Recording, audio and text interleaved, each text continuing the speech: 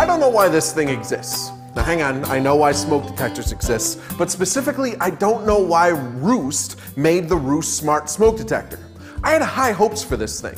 This is the company behind the Roost Smart Battery, which I really liked. And I thought the smoke detector would up their game and compete with Nest, but it doesn't.